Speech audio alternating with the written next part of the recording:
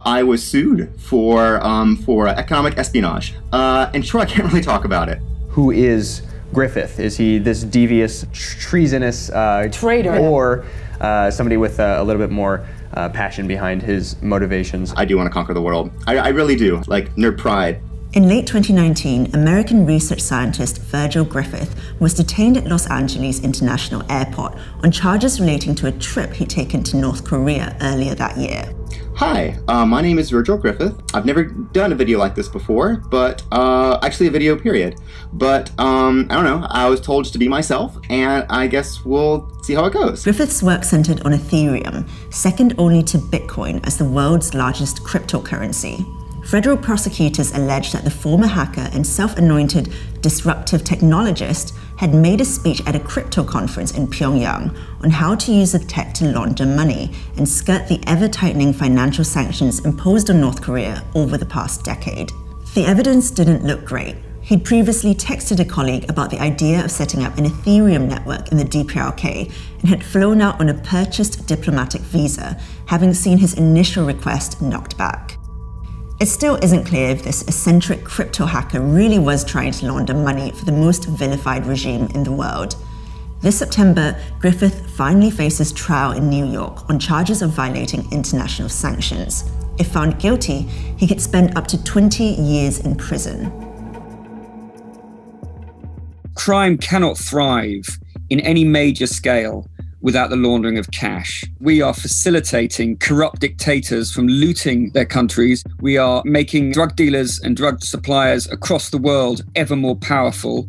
If, if they can't launder their cash, they're going to have far less power. Money laundering is about making illicitly earned cash look like it came from a legitimate source.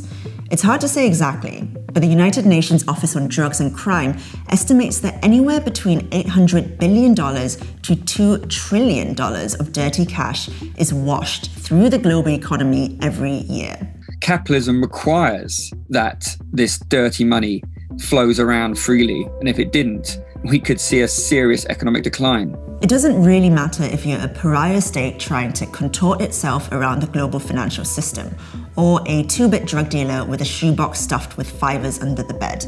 The fundamentals are the same. Whatever the scale, clean money is always the only worthwhile money. But the process of scrubbing it spotless isn't always straightforward. Think of it as a three part process. First, you need to place the money somewhere away from its illicit origins. Imagine that shoebox of cash deposited into a bank account in small enough increments not to arouse suspicion. Uh, the second part is layering, where you do multiple transactions, often through shell companies and front companies, to disguise the origins of the money. And then there's integration when you actually put it into a legitimate account and then it's free to be used as if it were legitimately obtained. If that sounds complicated, well, it's sort of meant to. Successful laundering relies on muddying the waters of just where that money started its journey.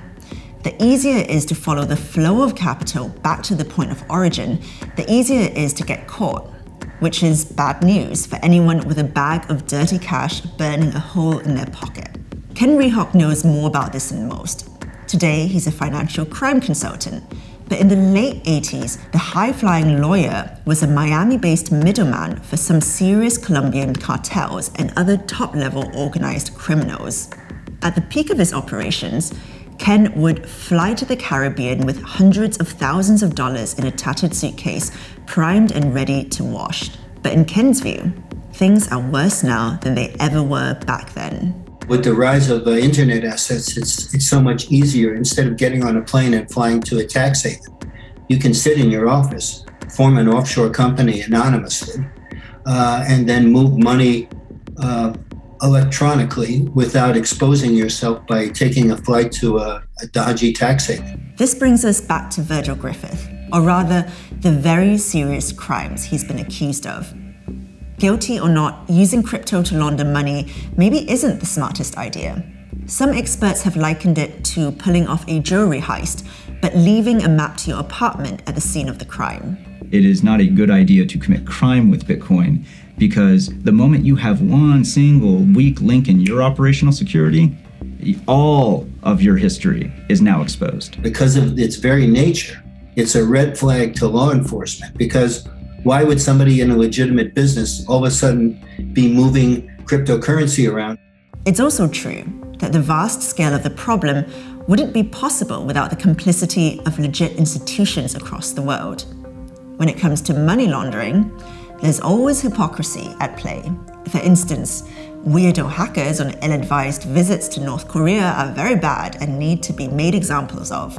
But when it transpired in 2012, the HSBC had spent years gleefully waving through hundreds of millions of Mexican cartel money through its accounts, no one cared all that much. Banks are willing to pay the fines necessary if they do get caught.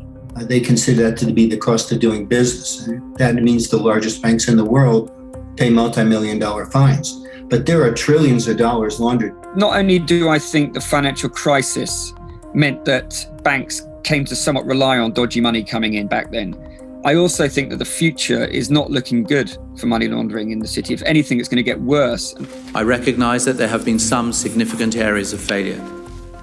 I have said before, and I will say again, despite the best efforts and intentions of many dedicated professionals, HSBC has fallen short of our own expectations. The risk of actually being prosecuted and going to, to jail for being instrumental in laundering money is virtually nothing. The only effective punishment that regulators can levy on a bank is the death penalty. That's the loss of the bank's license. If there were regulators with uh, intestinal fortitude in the US, they could have canceled HSBC's licenses in the United States. Financial crime can be difficult to get excited about. It is, by definition, invisible. It comes wrapped in endless jargon, systems to learn, acronyms to memorize. Drugs and murder are easy to understand. These are names with a face. But money laundering is just as corrosive to society. It's how ultra-violent drug lords keep their money and power. It's how repressive regimes succeed in asset stripping their countries.